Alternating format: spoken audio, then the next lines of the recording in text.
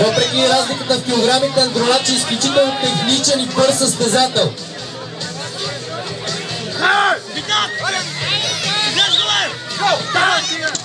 Разлик на заклата. Хайде, бите!